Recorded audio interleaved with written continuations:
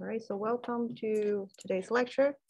We're having a guest speaker, guest lecturer to talk a little bit about what happens when, or I should say, what happens when regular MCMC doesn't work? That's or, um, yeah, so let's welcome um, Dr. Vojta from Skidmore and let's take it away.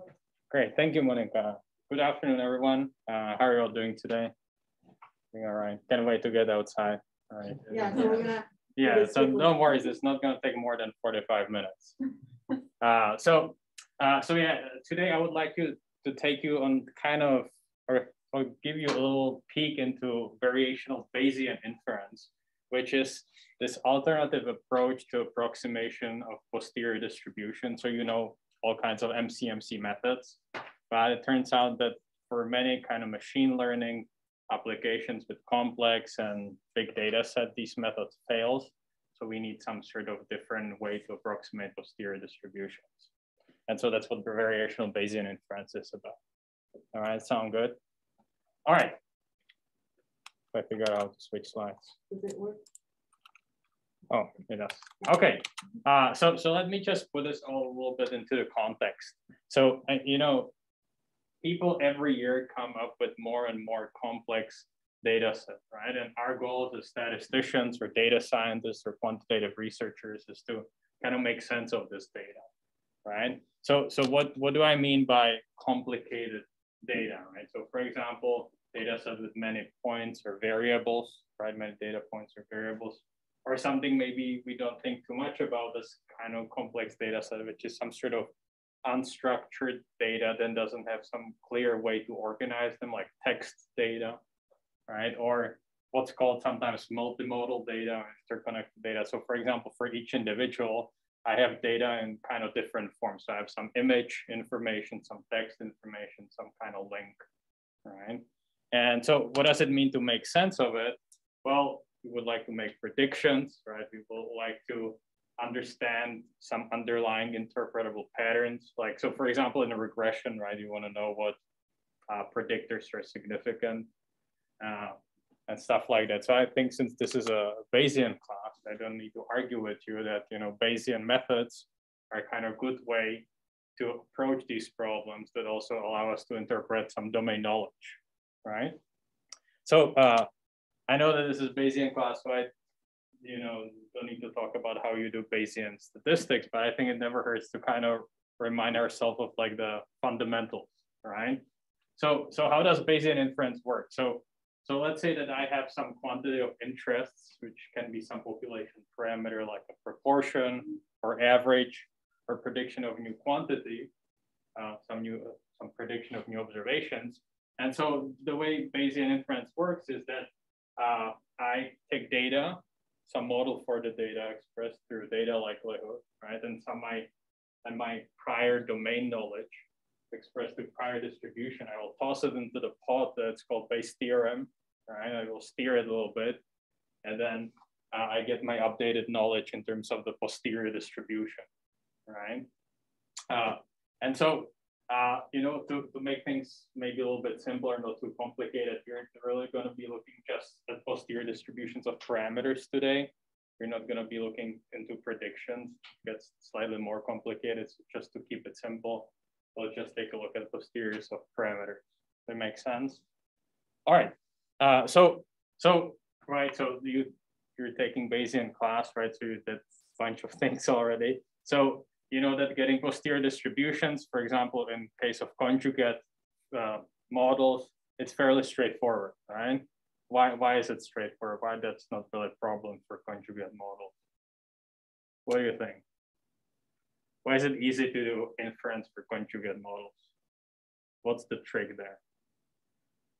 What's the catch? Why don't I have issues in conjugate models with getting posterior distribution. That's right, right? I can kind of derive, I can derive the explicit form for that posterior distribution, right? So that's why, you know, when I work with conjugate models, I don't need to worry about many things, right? That's right. But then if I don't have conjugate models, for conjugate models are really just like kind of special cases of things, right? So I need to do some sort of approximation of posterior distribution, right? And so you know bunch of algorithms how to approximate things, right? So typically there are some Markov chain Monte Carlo algorithms like a Gibbs sampler, Metropolis Hastings, or people lately use something that's called no U-turn sampler. There are all kinds of uh, right, MCMC-based approaches. And so I think, you know, now probably if you did some hierarchical models, you are probably getting sense that, you know, these methods can kind of start becoming very computationally heavy, right? The more complicated models I have, the more data I have, right? So to give you some examples, what's something that's really, really complicated and it would be infeasible to finish before the end of universe, okay?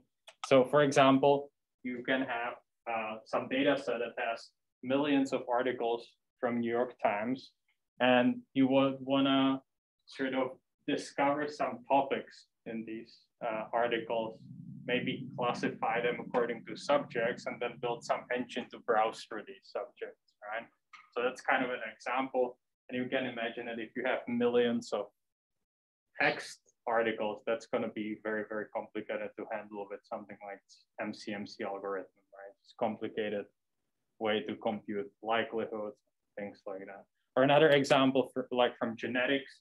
So you can have some information literally about billions of genetic uh, measurements from millions of individuals. And you want to take a look if there is some relationship between genetic information and phenotypes, right, for example. So this is something that is not really feasible with MCMC approaches, but turns out that variational Bayes inference can somehow deal with these kind of data. All right. So uh, yeah, so yeah, I said, well, the cure to this is variational Bayesian inference. And uh, I will go to a little bit more details into, into the idea of this, but the general idea is that MCMC methods are sort of sampling-based approximations of posterior distributions. So variational Bayes inference is optimization-based approach uh, to approximation. Okay, so that's kind of the big idea to keep in mind. And so now we will go a little bit more into details. What, what does that mean? So yeah, so first kind of math that we have in here today. So, so the variational Bayes inference approximates some target density that I'm working with. So the posterior distribution of parameters with some simple known family of distribution that's called variational family. And it approximates it so that I will try to pick some of the distribution from the variational family of distribution that is as close to the posterior distribution as possible. I will talk in a minute, what does it mean as close as possible? How do I measure that closeness? But that's the general idea. So for example, uh, as a variational family, typically people pick something simple we all know how to work with, like a normal distribution. So if I have uh, some target parameter with some real valued parameter, I can try to approximate it with normal distribution, the posterior distribution. And the parameters of that variational family that's what I have here as a lambda. They're called variational parameters. That will be the mean and standard deviation of the normal distribution. So I will be really trying to kind of find out what normal distribution with what kind of mean and standard deviation is kind of as close to the target posterior distribution to approximate. All right, so that makes somewhat sense. All right, so so now now the, the thing to uh, talk about is how do I measure the closeness, right? How do I decide that one distribution is close to the other distribution, right? Because we said, well, the idea is to find something as close as possible. And the, the way people typically measure this, it's through what's called Kullback-Leibler divergence or KL divergence. And there's a little formula here for it. So let me just maybe write it on the, that's the only moment where I want to do some writing on whiteboards today. So, so don't get scared. It's not going to be a lot of writing. Uh, so let me stop share this one and let's give it a try of the video. Yeah. Yeah, can you okay, give it a perfect. try? I want to see if it's the right, like left to right. I guess it is, right? Yeah, yeah. Ah, perfect. Okay, so so this uh, KL divergence is some sort of expectation uh, with respect to that variational distribution of logarithm of ratio between the two distributions. Okay. Well, I have terrible handwriting, by the way. So if you cannot read what I'm writing, just like yell at me. What's going on in there? So it's a logarithm of the of the ratio between the variational distribution and the posterior distribution that I'm looking for, right? So if I wanna find out which distribution is closest to this posterior distribution, I want to minimize this, okay? So, so there is actually a problem with minimizing this as it is. I will write kind of one more line of, of math and you will see where the problem is to actually do the minimization in here. Because if I do a little bit more algebra, I can get that something that looks like this. I will just kind of work up, work with this logarithm a little bit. So I can get something that looks like this, logarithm of that variational distribution minus logarithm, and I will just write up the posterior distribution using the Bayes theorem. So it's a logarithm of b of y given theta, so that's my data likelihood, right, times prior distribution, and now divided by the marginal distribution of your data. Right? And so this is the problem why, like if I would try to minimize this, I would kind of didn't uh, make it any better than, uh, than really, well, it would be really hard to do it because this is hard to compute, right? These, these ones in here. But the good thing is that this expectation is actually with respect to the parameters, not with respect to data. So I can do a little bit more math and I can actually get this out and optimize some sort of alternative objective function that does not involve this kind of quantity, okay? I can write it up just, you know, if you're a little bit interested, one more line. Uh, so you can get something that looks like this. There is a negative sign in here of expectation with respect to the variational family of logarithm of p y given theta. So that's the data likelihood minus logarithm of the variational family divided by the prior, okay? And you will get here plus logarithm of the marginal likelihood. So this quantity over here is what's called evidence lower bound called ELBO. And you see, if I wanna try to minimize this, I don't need to worry about this at all because that does not depend in any way about on these variational parameters, right? So I can, I don't need to worry about this, right? So I'm kind of avoiding this computational issue. And minimizing this is the same thing as maximizing this thing in, inside because there is a minus in here. So this is how, in practice, this variational inference is done. You're actually not trying to minimize this KL, diver divergence, but you're minimizing some sort of alternative objective function that makes computation simpler because I don't need to compute uh, this marginal likelihood, like in MCMC, right? If you have Metropolis Hastings algorithm, you get rid of this, this item, this two through the ratio. So here you also don't need to deal with this. The actual speed up you will see comes in a second, but this is kind of first step towards that. Okay, so this is all that I wanted to write on the whiteboard for today. Good. Just wanted to make sure I did the pin and then we just go back to the slides, yeah. right? And then let's make sure it's full screen. Yeah, all right, perfect. Should be good. Yeah. yeah. Mm -hmm. So if you kind of kind of just want to visualize what's going on, so I have this kind of kind of shapeless space that represents the space of the variational uh, distribution. And I'm trying to kind of find out the parameters of the distribution that will be close to the target posterior distribution. Okay. And so, so now we, we kind of hopefully see that minimizing this is equivalent to maximizing that evidence lower bound. And that's actually how people do this in practice. Okay, they try to maximize the evidence lower bound. And there's actually a kind of nice interpretation of it as well. Uh, it, it kind of has the same kind of tension as a Bayes theorem gives you between the data and the prior distribution. Because if you take a look at what the evidence lower bound really is, so here this term in here is the expectation of log likelihood. So it's trying to kind of trying to fit parameter that maximizes the likelihood, right? So that's kind of maximum likelihood estimate kind of idea if, if we know what that is, right? So there's some tension, some balance between maximum likelihood estimate and closeness to the prior distribution over it, right? So that's kind of the same, same kind of balancing of things that the the Bayes theorem really gives you, right? It's a fight between data and prior distribution, right? So there is also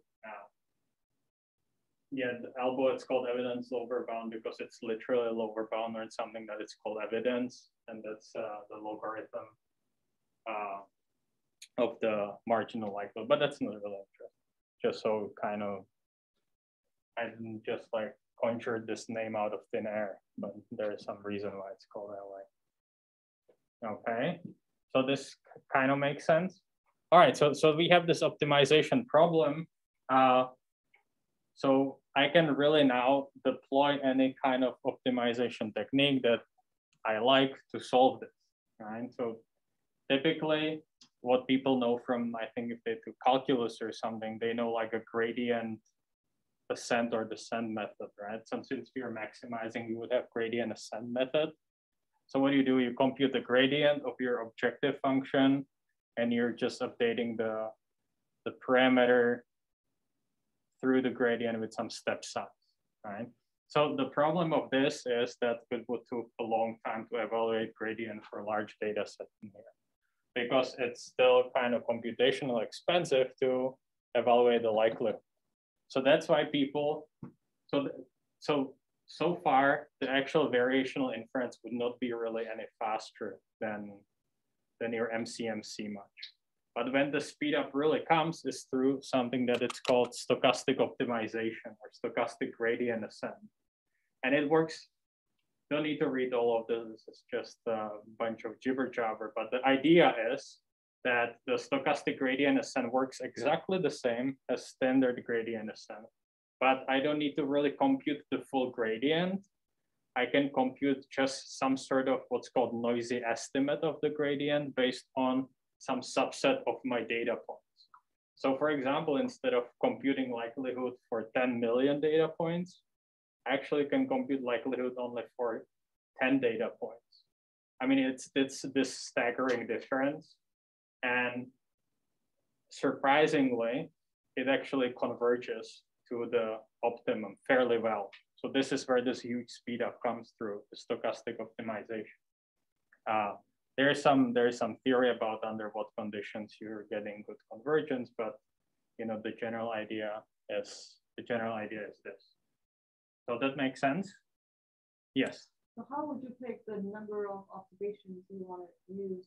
I, I guess that goes into the conditions. Yeah. So so actually no. So actually the conditions. So the the estimate of that gradient just needs to be an unbiased estimate mm -hmm. of the true gradient.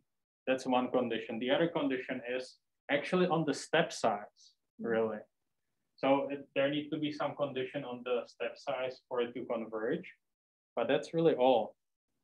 The, the amount of points that I pick decides how good that estimate of the gradient is and how fast this uh, uh, stochastic gradient converges. And, uh, and it's always kind of trade-off between how much time it takes for you to evaluate the, the, the, the actual gradient and so on and so forth. But uh, in practice, people don't use a lot. Like sometimes people use one actually, mm. just one data point. Uh, that's especially good if you have something where this can be wrote as uh, IID data, right? So logarithm of product can be written as sum of logarithms, and you can get some nice unbiased estimate through just picking one point actually at the time.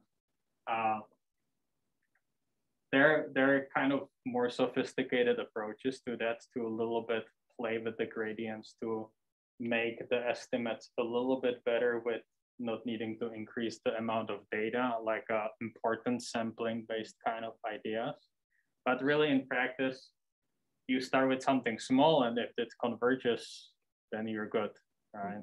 If, if, if it doesn't have any like uh, problems with how, how big the variance of these estimates is. So yeah, people start one to 10 typically. Most of the applications that I've seen, people don't take more than 20 observations really to compute these, these gradients.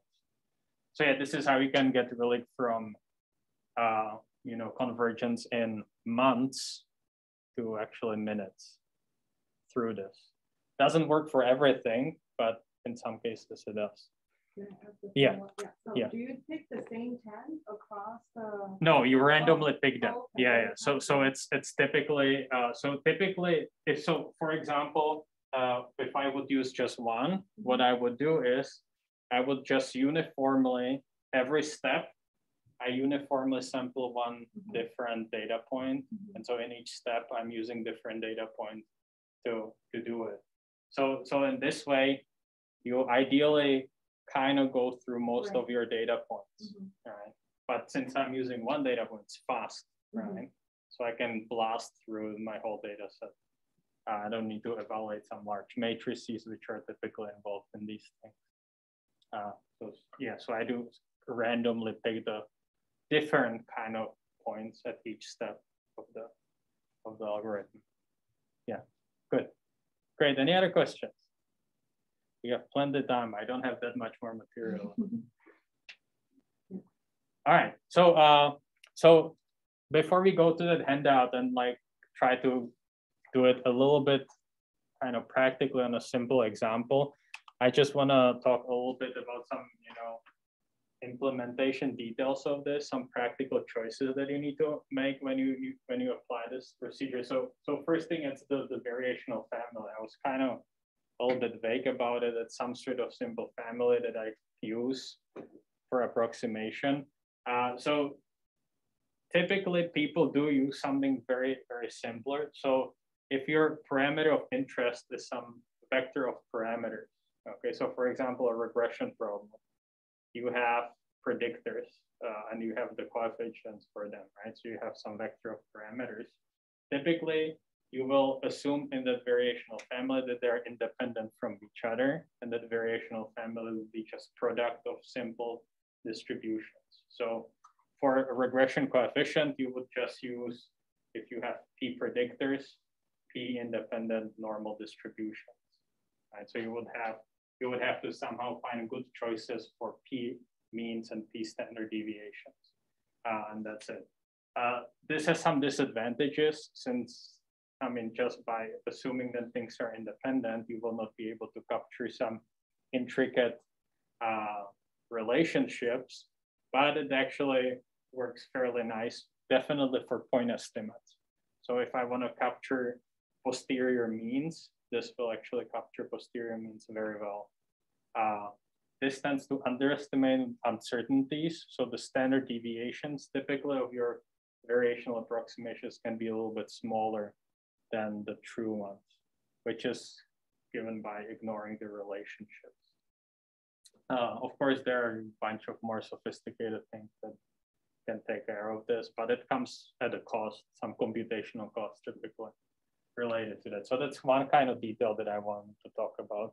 The other detail is actually the, actually if you do the stochastic optimization without thinking about it too much, uh, it does not work that well. You need to be a little bit smart in the, the updating step that you're doing. Uh, the good news is that many smart computer scientists dedicate their life to, to finding good uh, updating steps for these optimization parameters. So there, there are plenty algorithms out there with uh, all kinds of interesting names like Adam, Adagrad, RMS Probe that actually do some smart updating. But the idea to make the updating smart is that if your gradient estimate is really good, you can have you can take large leaps in updating your parameters. If your uh, gradient estimate is poor, you will take only smaller leaps. So you don't kind of run off somewhere where you don't want to. So that's kind of one idea of these. The other idea of these is that you also do this updating independently for each parameter, because for some parameter you can afford to jump a lot, for the other one, not so much. And all of these parameters do some sort of version of these two ideas. So that's kind of two, two things uh, that people typically do. The good news about this is that a lot of kind of standard machine learning uh, packages, typically for Python, are built with this in mind.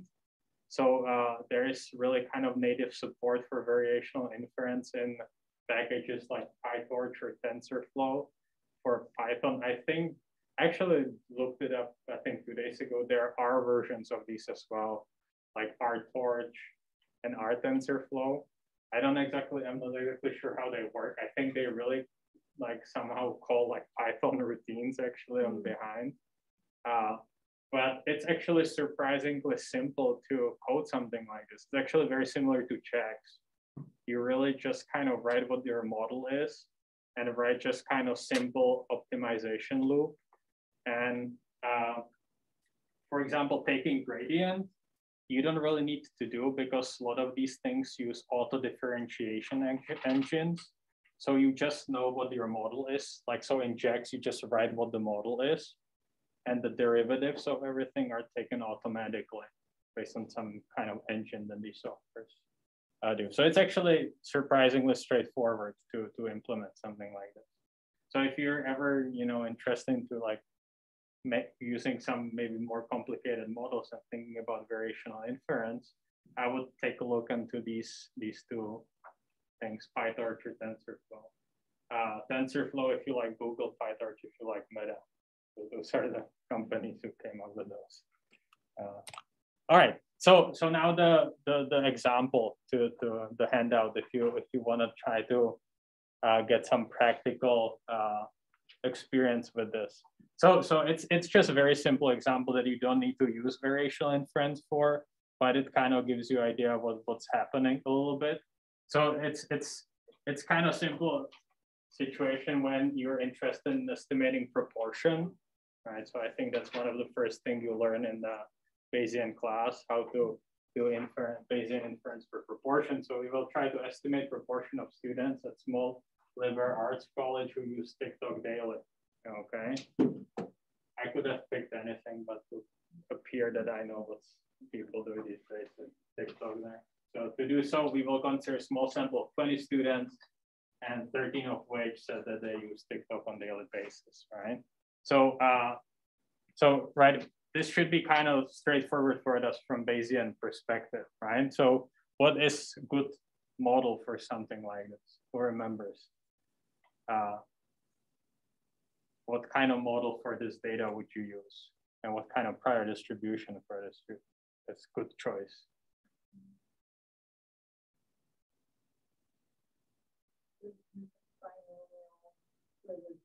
That's right. Winner right here. And, uh, and the prior distribution, I would use probably beta if I want to do a conjugate model. So we will do the same thing. We will do this just because it's good to know what the truth looks like so I can assess how well my approximation is, okay? So we will use our prior distribution beta, uh, data likelihood binomial. Why is this good choice, by the way? We already talked about it what's going to be the posterior distribution? That's right. It's going to be some beta distribution, right? So that's why it's uh, why it's good model. All right. So I mean, you can pull up your computers uh, if you brought them. I ho hope you did. Uh, if sorry, not, it's okay. maybe between neighbors. Yeah. Uh, and you can uh, you can start uh, kind of working your way through the through the code. I try to so it, it's R code. So it's not as straightforward as it could be in Python, but I try to do my best to kind of make it as simple as possible. Uh, but the, the what you really just compute, you kind of write a function for ELBO. Uh, you will use R function, it's called optim, which does optimization. And you will just try to optimize the ELBO and you will see how the true uh, posterior distribution, which is some sort of beta, is approximated by normal distribution. So we'll try to use normal distribution. So something that you would want to get at the end of the day, if you plot the result, it look something like this. So how about you take a couple minutes to try to work your way through it. If you get stuck through something, you can uh, let us know. And yeah, so I uh, posted the handout on Moodle as well. So it's a PDF, so yeah, you can copy Yeah, you can copy the code if you want to. Code, yeah, and um, yeah, for the remote students as well. So things are um, posted on Moodle as well. So hopefully you get access and so I can maybe pause here for yeah, a little bit. Yeah, for the good. recording. Yeah. yeah. Mm -hmm. And you can walk around and yeah. Yeah. Mm -hmm. I have done just two or three sheets. Just like this. Expectation with respect to that variational family. So I was actually using it correctly.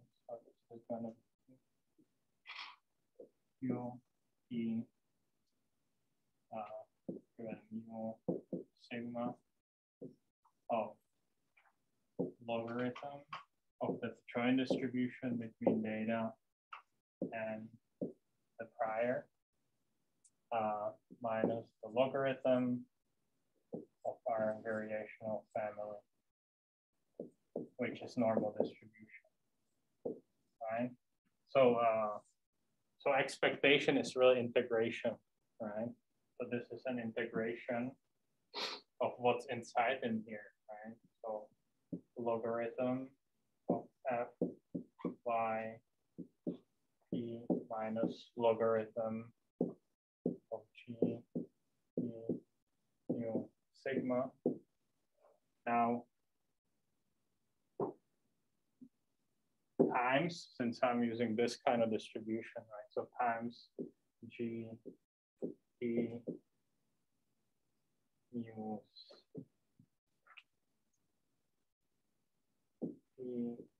mu sigma dp, right?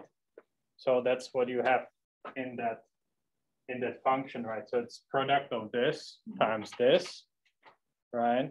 And I'm integrating over something, right? So since it's proportion, it's really between zero and one. So that's why I'm doing the numerical integration between those two bounds over here. So that's what's really doing that, but it's doing the minus of that because optimize, optim by default minimizes things, but we said we want to maximize the ELBO. That's why we're doing minus of it. I can maybe bring back this. All right, so I think yeah. That, yeah. And the rest of it is just kind of to make the optim function work. Once you have this this ELBO over there.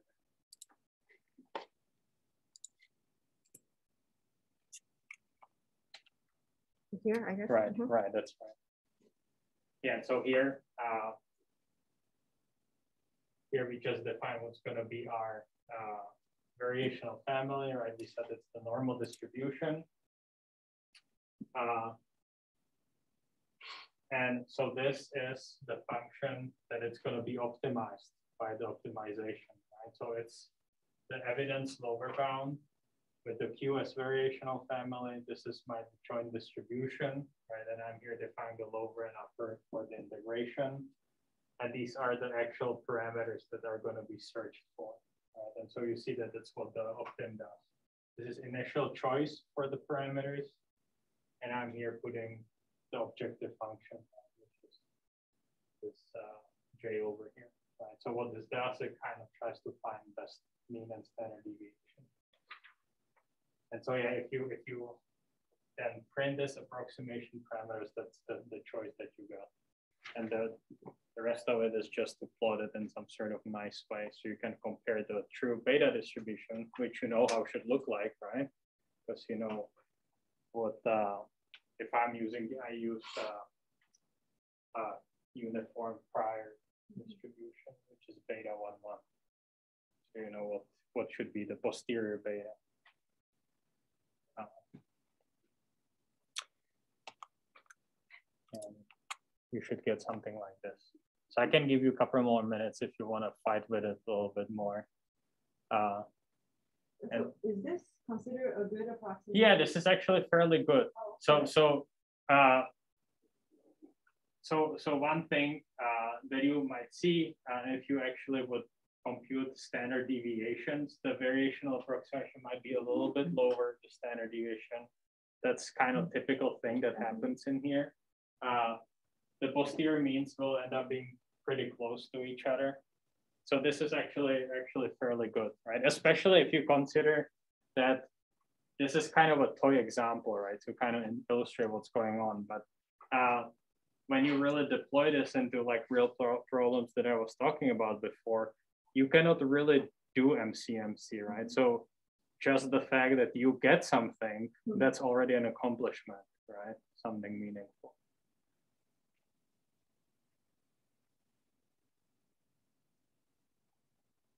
Yeah, so to give everybody a sense of like why some cases doesn't work, so at some point I talked to you Yeah. about it as well, that uh, for the text data, that Yeah. what they're still earlier, like you get so many documents and they're trying to do some kind of uh, models. Um, we don't need to go into the detail of the model, but at first I was very naive. I was putting everything in JAX.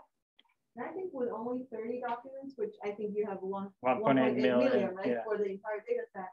But when I first input, I forgot maybe a couple of hundred, it just gets stuck. Like Jeff just froze there. So I wasn't sure what's happening, so I reduced the number of documents I'm feeding into JAX. I think maybe about thirty. Yeah, yeah, It started to run a little Right, bit, right. but overall, it's just gonna be impossible for JAX to do regular MCMC, all that kind of model. Large data sets, I mean, large. um, That's right. yeah. file. Mhm. Yeah. So yeah, so I mean, and so the, really the the power of the variational inference, uh, it, it really comes through that stochastic optimization that you're doing here. So so the, kind of the two ideas that that are really useful here is to turn approximation to an optimization problem, right? So that's kind of one one idea. The other idea is to do the optimization in some sort of smart way, and that's the stochastic optimization when you don't need to use all the data, but just always some smaller chunk uh, of the data at the time and that you randomly select in each step. And turns out that actually you can get good convergence doing this, right? So that means that, you know, if Monika used five documents, she would be able to eventually right. get some convergence. Mhm. right? I mean, you could technically do it uh, with uh, MCMC too, right? But that might took more time than the sun will be on the skies, you know, Yeah, yeah, yeah. to get that. All right. Uh, so I think we can we can maybe finish this up. Uh, uh, so so I want to just kind of to give you some examples if you if you want to like Google things at home to see what kind of models uh, are appropriate for this. So so actually some some generalized linear models uh, like you know logistic regression that's called generalized linear models can already have some trouble sometimes with MCMC. So uh, variational Bayesian inference is appropriate for something like this. If you do neural networks, that's what everybody's talking about these these days, and you can do a Bayesian version of it, you don't really have any other choice than doing some variational inference approach to that. Uh, there's something that's called deep exponential families, which can actually solve the same kind of problem with the documents that Monika's talking about. So this, these are models for unsupervised learning. So do we know what unsupervised learning is? So there, Nani. you know what's a, okay. So can you explain us what unsupervised learning Oh, is? geez. Well, well, I know that supervised learning Yeah. is when you're teaching it with a model where you know where the results. That's are. right. That's right. So unsuper- unsupervised, you don't know what. That's right. are. That's pretty much it, right? So, so- so typically what we often encounter in statistics class is like regression. Regression is a supervised uh, learning kind of problem. You have some uh, data scientists and machine learning people call it features. right? And you have labeled features. So you know the response variables, right? For the training data. Unsupervised learning doesn't have anything like a response variable, really. You have some data and you try to discover structure in the data. Like with the text data, right? We have load of documents and I want to somehow organize them, right? There is no like a like a response for that, right? So that's what unsupervised learning kind of problem. So that's deep exponential families are models for something like that. Or something that's called Gaussian process. I will talk a little bit about it in this afternoon, uh, what Gaussian process is, but it's uh, what's called non-parametric regression model. So it's kind of a function approximation, uh, a problem that looks, it's a little bit more sophisticated than standard regression uh, model. So these things are suitable for variational inference. And to, to give you some examples what, what people did with variational inference, and with, uh, you can, if you have the slides, you can just put this into Google and read a little bit more about it. So uh, people, for example, analyzed uh, 220 million of functional MRI measurements to kind of discover connections between different parts of the brain based on fMRI images. So that's that's a lot, a lot of data, right? Just one fMRI image, that's, you know, that's already kind of handful. So you have millions of those.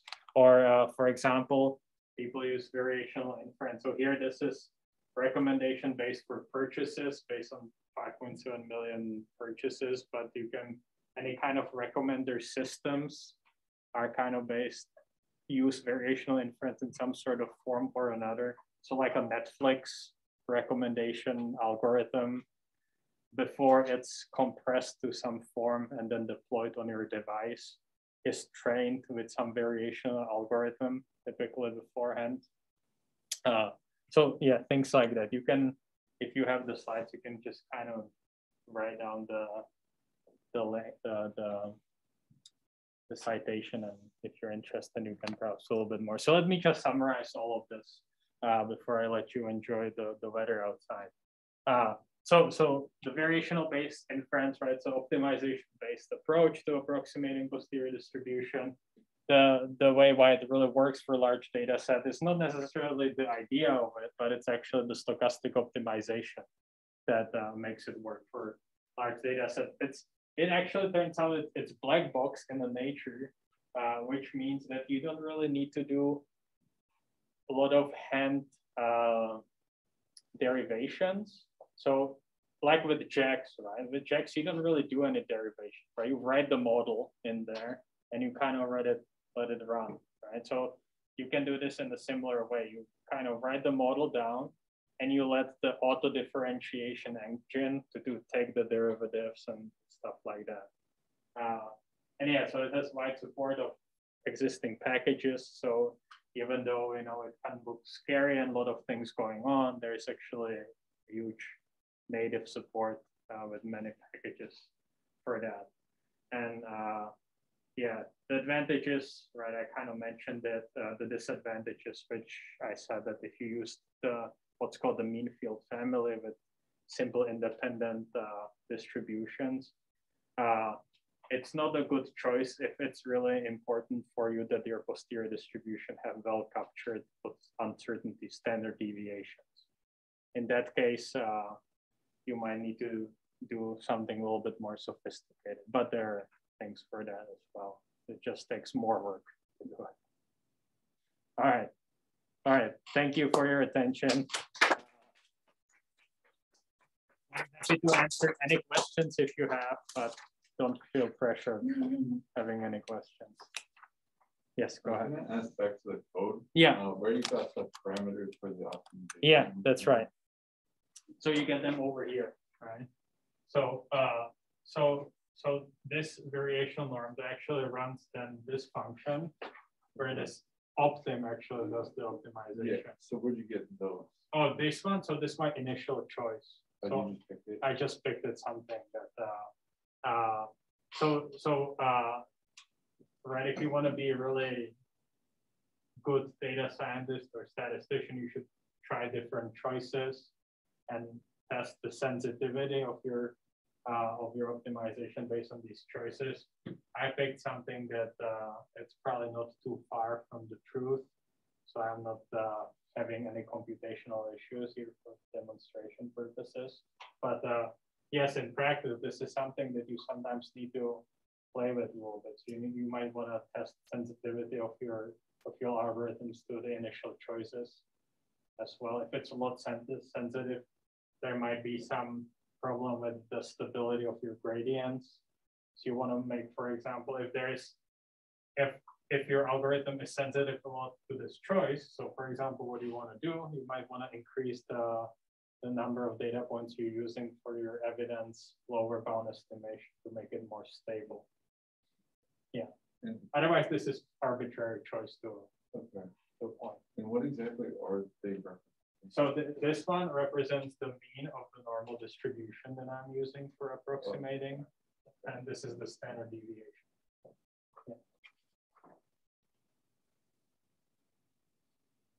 Because in the end, it's gonna be something like point seven. Yeah, something like that, okay. 0.7 ish. okay. Yeah. See. So if we start with different, the initial values, we might get a different Uh, optimized. so if you, I think I haven't like tried that many. I Mhm. think that might be if you try like uh, 0.1, you can try it for yourself. Mhm. Uh, the optimization might some get stuck in some local optima, so that can happen as well. Uh, since this is fairly simple model, it actually might work for quite a range of uh, initial uh, choices. You can try it for yourself. Uh, what can happen is, for example, that uh, the optim function kind of gets stuck and it tell you that it didn't reach Mm. some optimum, And then that will be error message. and it will be error message. That's more likely that will happen rather than uh, than a different result. Anything else? If not, I think the. speaker All right, thank Yeah, you. so later today, uh, Um, we're also gonna have the speaker to give a colloquium talk about uncertainty quantification. That's right. Yeah, so that will be in Rocky, I think, three twelve, and he and cookies will start at three fifteen in the back. That's what I've been told. Well, there will be. Yeah, um, yeah, so hopefully many of you there. if you can stop by. Yeah. All right, great. Thank you. Thank you. Thank you. Very nice. Let me stop it. And uh, let me